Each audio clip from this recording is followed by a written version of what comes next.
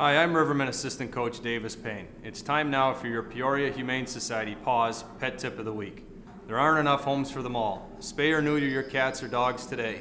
Call Paws at 494-8911 for financial assistance. Hi, I'm Trent Whitfield. It's time now for your Peoria Humane Society Paws Pet Tip of the Week.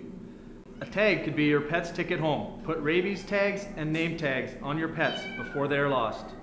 For more information, call Paws at 494 8911. Keep your pet safe. A leash could save their life.